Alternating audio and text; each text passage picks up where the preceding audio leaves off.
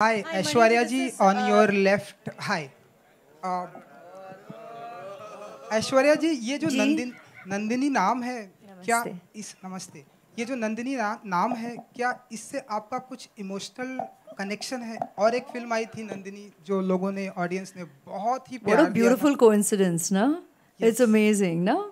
yes i mean in fact yes even nandini in hamdil dechuke sanam was very very memorable. She has lived on in people's hearts and i'm so so thankful that i got to play uh, nandini then too and uh, she's remained uh, special for the audience and of course to me.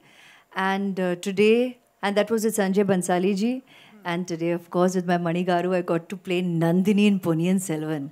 I mean, that's that's just tremendously uh, a blessing uh, to have gotten to play such strong women, such uh, layered women, and uh, women with um, with character that touches the lives of so many women out there. There is a relatability, so I'm very, very, very grateful. है या कहानी किरदार उन सबको भी आप ढूंढती हैं देखती हैं?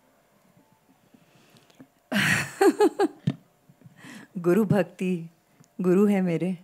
तो मतलब एक तो सबसे पहले इट्स अ नेचुरल यस हाँ तो है ही। अ, जब भी हिंट हिंट सर जब भी पूछेंगे ज़रूर जवाब हाँ ही होगा। दैट्स अ गिवन अब उसे श्रद्धा कहें गुरु भक्ति कहें अ, अ, कृ- कृतज्ञता कहें या प्यार कहें you can label it what you want but the point is that it would always be a yes But why wouldn't it be a yes? I'm very fortunate. I think anybody, any actor, you you speak to anyone who has had the opportunity to work with him or who hasn't as yet, deeply aspires to work with him.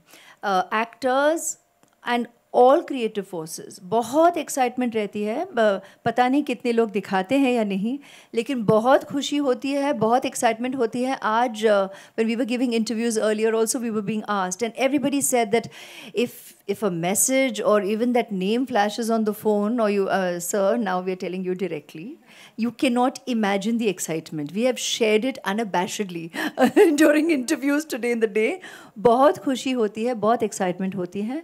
or and everybody truly looks forward to uh, getting the opportunity to work with him.